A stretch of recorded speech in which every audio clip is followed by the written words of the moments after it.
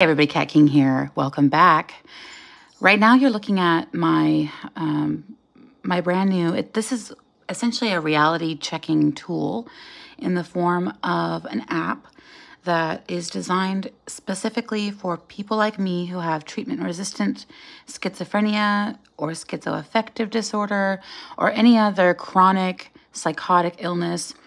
It could also be used for acute psychosis as well, but it was really designed with, with people with schizophrenia in mind. So what you're looking at is the beginning stages of my build for this app, and it's called Perceptor or Percept AR because it's designed for augmented reality to be used in the real world as a person like me um, navigates through their neighborhood or you know basically just throughout the the objective world around us so as you can see there was a uh, a camera tool where you could take a picture of whatever it is that you think that is a hallucination or could be a hallucination, and then the system will analyze it and tell you whether or not that is real.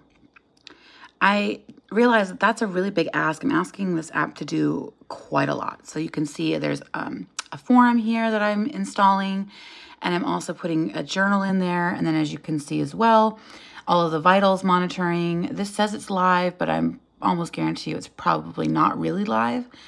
Um, but you can see it kind of reports on your blood pressure, your stress level, heart rate, all of that.